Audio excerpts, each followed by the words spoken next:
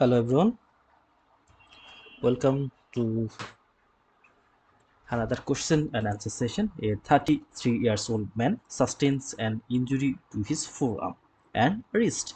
When examined in clinic, he is unable to adduct his thumb. What is the most likely underlying nerve lesion? So from the question, uh, it is clear that the patient is unable to adduct his thumb. So adduction of the thumb is lost. We have to find out the nerve lesion. So first of all we have to find out the muscle which causes adduct of the thumb. Then we have to find out the nerve which supplies the muscle. Then it will be easy for us to find out the answer. Here the options. Options are radial nerve superficial branch of the ulnar nerve median nerve posterior interosseous nerve and deep branch of the ulnar so let's see here. Here we can see this is the abduction. This is the abduction of the thumb. Or sphere of the thumb is known as the abduction. Then we can see this is closeness of the thumb with the other fingers. This is the adduction. This is the adduction. Here this is the adduction. There abduction and adduction. So adduction abduction and adduction.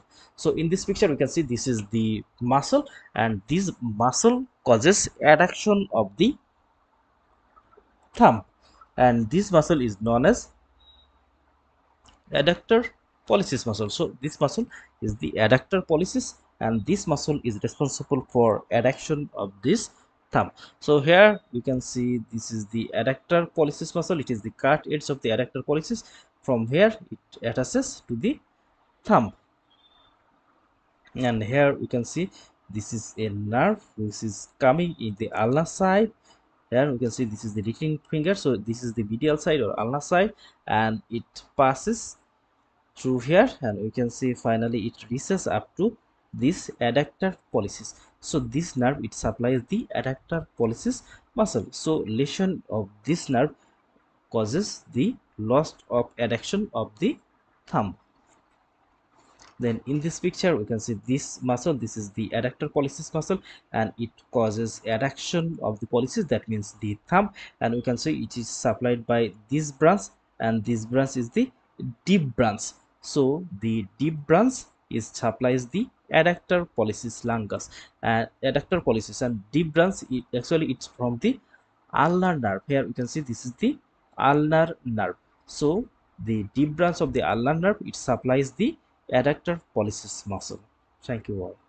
So here we can see our answer now that the adduction of the thumb is caused by or it is done by adductor pollicis and this adductor pollicis is supplied by the deep branch of the ulnar nerve. Thank you all